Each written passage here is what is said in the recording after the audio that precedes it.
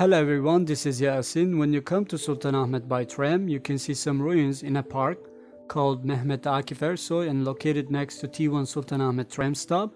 It is believed that these ruins are from the palace of Lausus. Lausus was a eunuch and imperial chamberlain who built a palace in 5th century near Mese, which was the imperial road in Constantinople.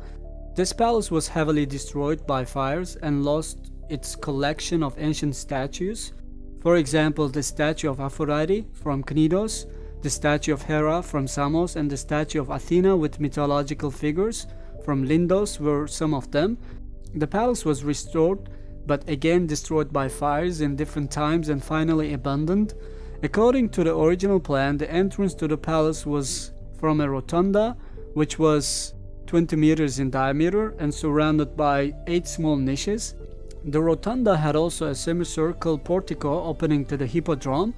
The ruins of the palace was discovered in 1952 and 1963 during the construction of a new justice hall and road arrangement works. It is thought that the small vaulted ruins which were discovered in the northern side of the palace are the shops on Mese. Thank you guys for watching the video. See you next time.